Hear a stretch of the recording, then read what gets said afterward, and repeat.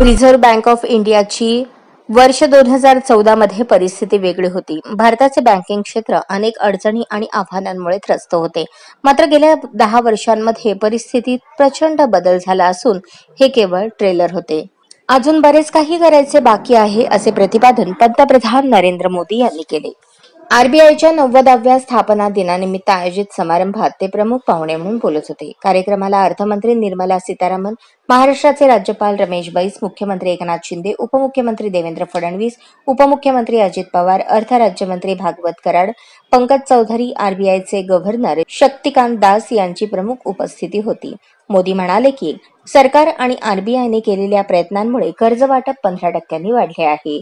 मी शंभर दिवस निवडणुकीत व्यस्त आहे तुमच्याकडे बराच वेळ आहे तुम्ही विचार करून ठेवा. तिसऱ्या कार्यकाळासाठी मी शपथ घेतल्यानंतर दुसऱ्याच दिवसापासून धडाधड कामांना सुरुवात होणार आहे. अनेक नवे क्षेत्र उदयास येत आहेत. बँकिंग क्षेत्राने अंतराळ आणि पर्यटनासारखे नवे व पारंपरिक क्षेत्रांच्या गरजांसाठीही बँकिंग क्षेत्राने सज्ज राहावे असे मोदी म्हणाले. येणाऱ्या काळात अयोध्या हे जगातील एक मोठे धार्मिक पर्यटन स्थळ बनणार असल्याचेही ते म्हणाले.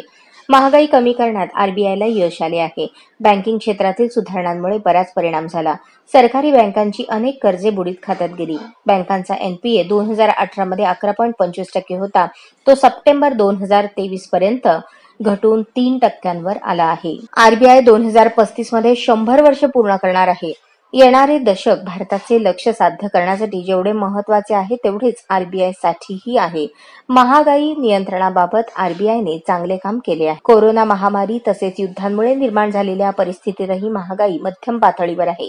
यापुढे आरबीआयने गतिमान विकास स्थैर्याला सर्वोच्च प्राथमिकता द्यायला हवी असेही मोदी म्हणाले. आजच स्मार्ट महाराष्ट्र न्यूज चॅनलला सबस्क्राईब करा.